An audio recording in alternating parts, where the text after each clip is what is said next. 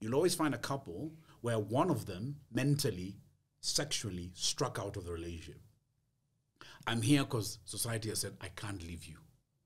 Mm. I love you. We have kids. I'll take care of you. We have kids. We have a mortgage. For me, yes, but for me, finding you sexually attractive is too much energy. I have to remove my clothes. I have to arouse you and arouse myself. Then I have to mount you, and I'm the only one sounding like a bear.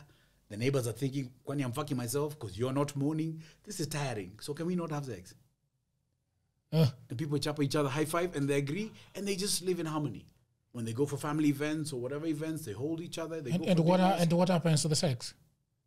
They get it somewhere else. Both of them. Eventually, yeah, both of them at some point get it somewhere else. And Couples have even gone to the point where they're like, you know what? Let's stop hiding. Wait, I know you have a girlfriend. You have a boyfriend.